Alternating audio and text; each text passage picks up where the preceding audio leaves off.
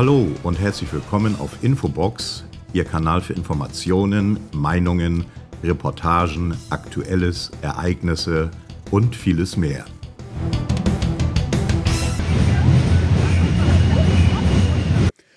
Hallo und willkommen auf meinem Kanal. Wir hatten gestern in Berlin einen großartigen Tag. Michael Ballweg hatte dazu aufgerufen, am 3. August 2024 für Frieden, Freiheit und Wahrheit zu demonstrieren. Ich hatte großartige Menschen getroffen. Wir, die auf der Straße waren, waren absolut friedlich. Ich habe keinen einzigen gesehen, der randaliert hatte oder aus der Rolle fiel. Im Gegenteil, am Straßenrand stand die Antifa, die dafür bekannt ist, gewaltbereit zu sein. Für die Antifa waren wir, die friedlichen Bürger, die für den Frieden demonstrierten, die Nazis. Diesmal kehrten die Demonstranten den Spieß um und riefen der Antifa zu, Faschisten raus. In der Nähe des großen Stern in Berlin war die Bühne aufgebaut. An und für sich sollte die Kundgebung direkt am großen Stern stattfinden. Durch Schikanen der Ordnungsbehörde wurde dies jedoch untersagt. Es wurden einige Stände aufgebaut, um insbesondere Getränke zu verkaufen. Diese waren bei dem herrlichen Wetter auch dringend erforderlich. Zwei Wochen zuvor wurde der Antrag bei der zuständigen Behörde gestellt. Dieser wurde jedoch aus reiner Schikane nicht bearbeitet. Deshalb hatte die Polizei es untersagt, Getränke zu verkaufen.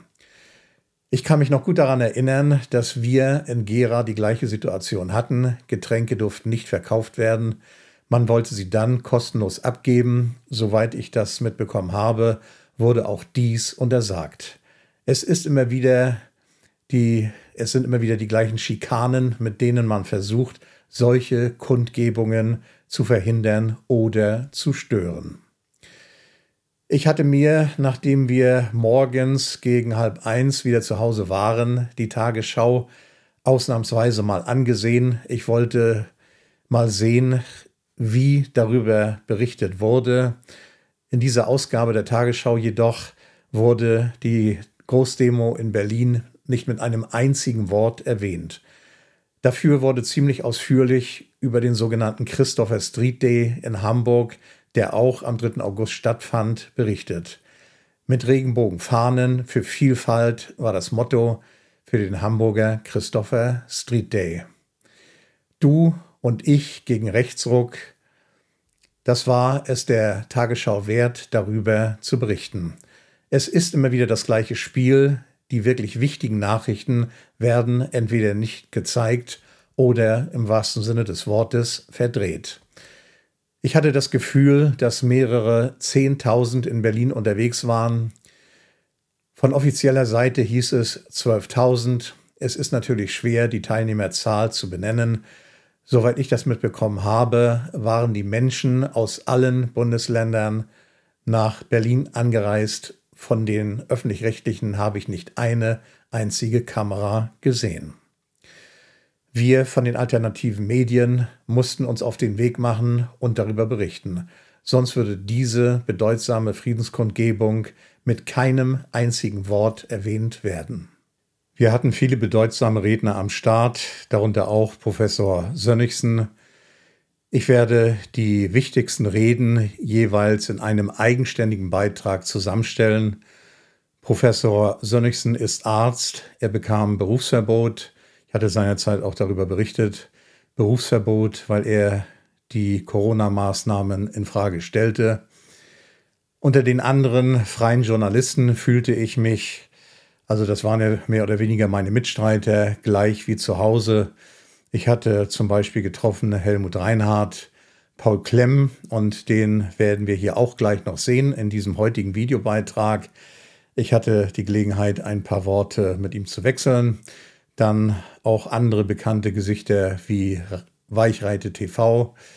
Björn Banane lief uns dann auch noch äh, über den Weg. Also es war im Großen und Ganzen eine großartige Stimmung. Es war anstrengend, aber es hat sich auf jeden Fall gelohnt. Und wir, die wirklich wahren Journalisten, die echten Journalisten, die ungeschönt berichten, die die Wahrheit berichten, wir sind diejenigen, die darüber informieren, was in unserem Land tatsächlich Sache ist. Wenn es uns nicht gäbe, ich denke, wir haben da eine ganz bedeutsame Rolle, dann würde es in dieser Welt oder zumindestens, ich will gar nicht so weit gehen, zumindest in Deutschland, sehr, sehr traurig bestellt sein um den Journalismus. Ich war gestern fünfeinhalb Stunden live. Ihr könnt euch vorstellen, das war sehr, sehr anstrengend. Und wenn man mit einem Smartphone filmt, dann ist es natürlich so, dass irgendwann der Akku dann auch leer ist. Natürlich alles am Tag zuvor zu 100 Prozent aufgeladen. Ich hatte auch externe Mikrofone dabei, aber ich musste mich entscheiden, externes Mikrofon, das ich anstecke oder ähm, die Powerbank, wie man so schön sagt, also noch äh, eine zusätzliche Stromversorgung. Ich habe mich dann dafür entschieden, ansonsten hätte ich nicht durchgehend fünfeinhalb Stunden circa online sein können. Ich hatte dann auch die Gelegenheit, ein kurzes Gespräch mit Paul Klemm zu führen. Das hat mich richtig gefreut. Der lief mir mehr oder weniger über den Weg und äh, den werden wir in diesem Videobeitrag, den wir gleich gemeinsam uns ansehen werden, auch noch äh, zu Wort kommen lassen. Ich hatte ihn gefragt, wie es mit ihm weitergeht und er hat mir mitgeteilt, dass er ab heute mit einem eigenständigen YouTube-Kanal am Start ist. Ich habe ihn natürlich auch gefragt, wie geht es dann weiter mit Kompakt? Und er meinte, wir werden auf jeden Fall wieder zusammenkommen, denn nach meinem Dafürhalten kann dieses Verbot nicht aufrechterhalten bleiben. Frau Feser hat ja, hatte ja gesagt, ich verbiete Kompakt TV. Sie fühlt sich wohl als der Staat. Sie ist die mächtige Frau im Staate. Aber es gibt auch noch Gesetze. Es gibt ein Grundgesetz. Und gemäß Artikel 5 Grundgesetz gibt es auch die Pressefreiheit und die Meinungsfreiheit. Und wir werden uns nicht davon abhalten lassen, weiterhin einen vernünftigen Journalismus zu machen. Was Kompakt angeht, da bin ich sehr optimistisch, denn sie, also Jürgen Elsässer, hat zehn Anwälte damit äh, beschäftigt. Die werden dafür sorgen, dass die Maßnahmen wieder zurückgenommen werden. Die Frage ist natürlich, die Gerichte, die Mühlen arbeiten langsam. Die Frage ist, wann. Ich hoffe bald. Es wurde ja ein Eilantrag gestellt und Eil, ja, das kann zwei Wochen dauern, das kann vier Monate dauern. Wir hoffen in jedem Fall das Beste. Es ist eine Schande, wenn man nicht einmal mehr Symbole zeigen darf, um die Solidarität mit Kompakt zu bekunden.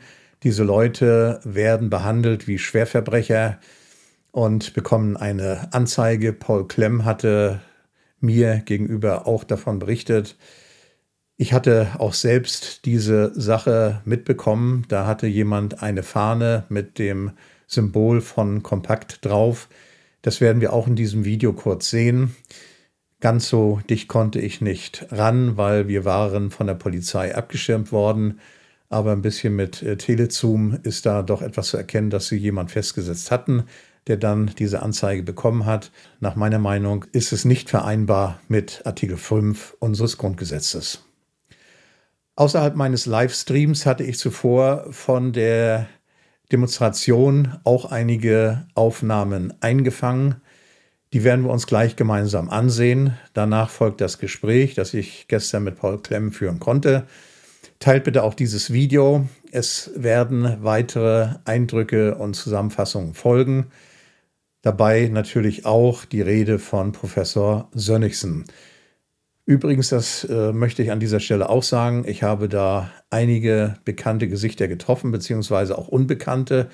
Ich wurde angesprochen von lieben Menschen, die mich erkannt haben, die mir dann Mut gemacht haben, sich bedankt haben für meine Arbeit. Ganz liebe Grüße gehen auch an diese Menschen raus, die ich da getroffen habe. Ich kann namentlich, kann sie namentlich äh, gegenwärtig nicht benennen. Es waren auch welche aus Mecklenburg-Vorpommern dabei, Leute, die meinen Kanal abonniert haben und deshalb auch gleich an euch die Bitte, abonniert bitte meine Videos. Hier werdet ihr sehr interessante Dinge immer wieder erfahren, das aktuelle Zeitgeschehen, aber auch viele andere Dinge mehr, worüber der Mainstream nicht berichtet. Aber nun zu den ersten Eindrücken und zu dem Gespräch mit Paul Klemm.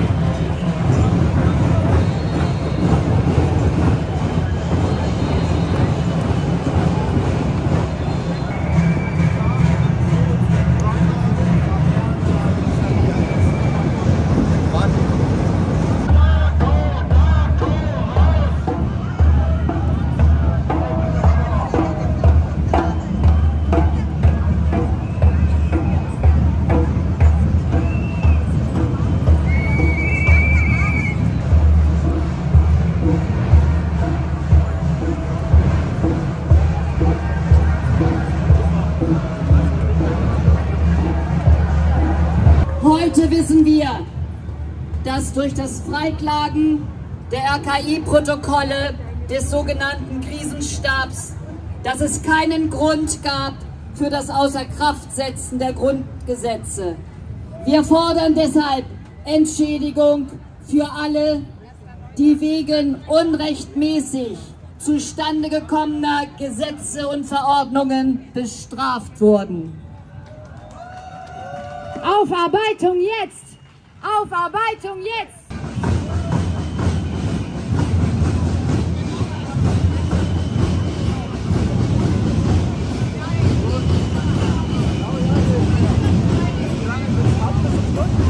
Ihr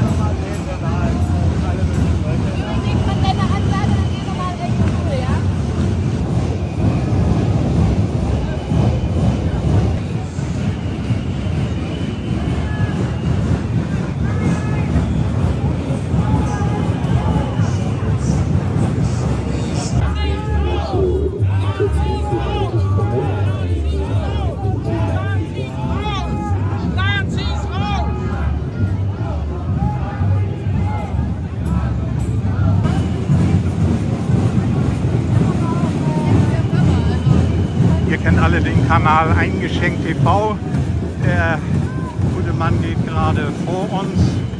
Natürlich auch, wie sich das gehört, mit einem Fotoapparat bewaffnet.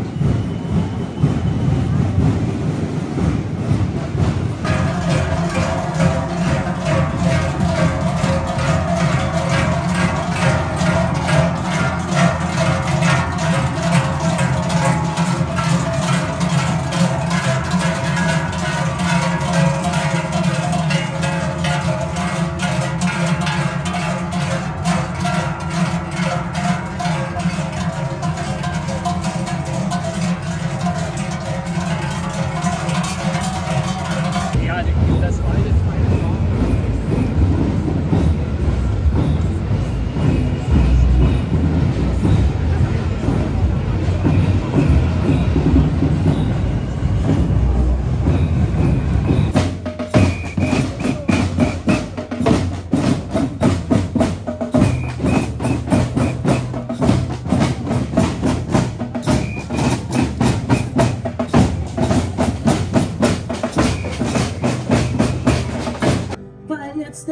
Paul. Frieden kommen kann. Herzlich willkommen. Herzlich willkommen. Ja, wir sind live. Infobox, wir sind live auf Sendung. Möchtest du ein paar Worte sagen, Paul? Wir haben sehr intensiv verfolgt, äh, was man mit Kompakt gemacht hat. Ja. Und wie sehen eure Zukunftspläne aus? Kannst du dazu etwas sagen? Also ich bin heute hier, ähm, um Aufnahmen zu sammeln für einen eigenen Kanal. Der Ja. soll auf morgen, habt ihr gar kein Mikrofon oder so? Hört man mich? Äh, ja, Ich kann auch näher rankommen. Ja. Äh, genau, der soll morgen an den Start gehen, Kanal Clem auf YouTube. ja, super. Und da bin ich heute schon am Filmen, genau. Freue mich mega hier zu sein, so viele Leute zu sehen. Ja. Also echt überwältigt. Hätte ich gar nicht gedacht, dass so viele kommen. Ja. Fantastisch. ja. Ich werde weiter gucken, was du machst, was ihr macht. Dankeschön. Ich hoffe, ihr werdet wieder ein Team. Ja, auf jeden Fall. Und der alternative Journalismus geht immer weiter. Ihr macht es ja vorher. Ja. Vor Wir Ort sein. live. Ne? Genau, live Kann sein. man nicht mehr rausschneiden. Ja. Densifizieren. Ja, nie genau. wieder Faschismus, Genau. nie wieder Parteiverbot. Richtig. Meine Frau hat mir ein Abo vom Kompaktmagazin geschenkt. Ich habe die Juli-Ausgabe gekriegt, aber das Geld wurde gar nicht eingezogen, weil ihr die Sammellastschrift gar nicht machen könnt. Ja, ist auch noch interessant für die Zuschauer vielleicht. Hier waren so ein paar Leute, einer hatte eine Kompaktflagge, Ja. hat sogar das C verdeckt gehabt, Ja, ja. wurde trotzdem rausgeholt von der Polizei, hat eine Anzeige bekommen wegen des Zeigens verbotener Kennzeichen. Also Wahnsinn, was hier, was hier Ja. vor sich geht. Ja. Schlimm. Ja. Aber das wird wieder. Es wird Eigene wieder. werden Hast du das rückgängig machen müssen. Ja, So geht es nicht weiter. es geht weiter. Eigenen Ja, Kanal hast du nicht oder geplant? Kommt morgen, wie gesagt. Kommt Ist morgen. geplant. Wir machen, heute, machen heute Ja. Aufnahmen hier auf Haben wir ein bisschen. Werbung gleich für gemacht. Ja, genau, Super. super. Sehr schön. Wie, wie heißt Ihr Kanal? Äh, äh, Meiser-TV. Okay, Meiser Ja. TV. In- Infobox sieht man nachher dann. Okay, Ne? sehr schön. Na dann. Grüße an die Zuschauer. Ja. Super, Dankeschön. Steffi ist gleich Äh, die weiß ich nicht, ob das heute klappt. War ein bisschen. Nicht klar? Ach so, okay. Geht, geht, geht klar. Viel gefragt. Hab ich, hab ich. Menschen 2024, mein Vorschlag. Okay. Dankeschön. Ja, gerne, danke auch. Ja, wie ich eben hörte, ist hier ein größerer Polizeiauflauf, weil irgendjemand auf der Fahne das C von Kontakt gehabt, gehabt haben soll. Den haben sie wohl schon abgeräumt. Im Moment kann ich nicht erkennen, wer das gewesen sein könnte.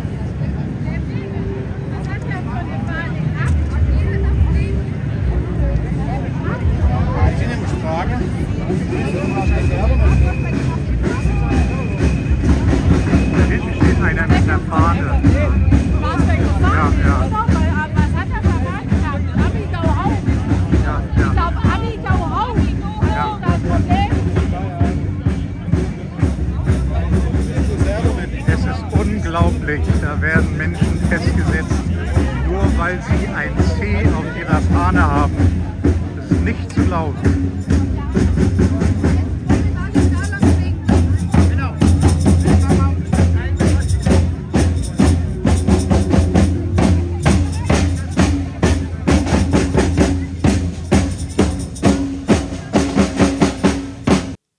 Das war der erste Teil der Berichterstattung über die Friedenskundgebung gestern in Berlin. Weitere Teile werden folgen. Da werde ich dann insbesondere einige Redner zu Wort kommen lassen. Vielen Dank für die Geduld. Vielen Dank, dass ihr, ich hoffe es, meinen Kanal abonniert habt. Ansonsten den Kanal jetzt bei dieser Gelegenheit gleich abonnieren, die Glocke aktivieren, um keine weiteren Videos zu verpassen. Vielen Dank und bis zum nächsten Mal.